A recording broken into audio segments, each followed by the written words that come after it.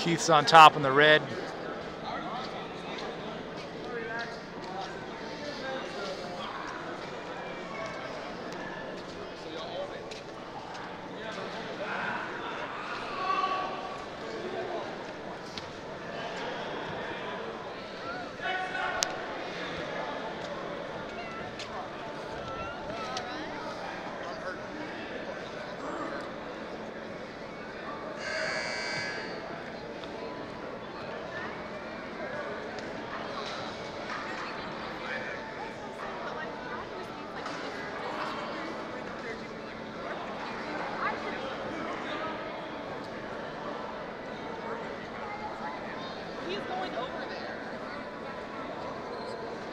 Keith Keith's up 7-0 right now. I missed the I missed his initial takedown.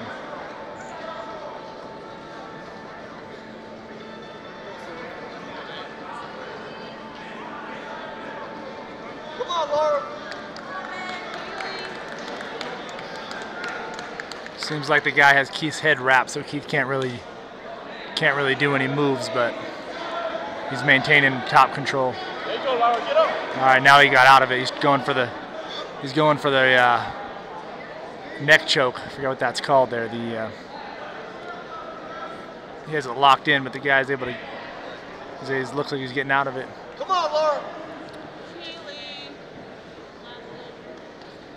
He tapped him. The neck triangle. It looked like. Really?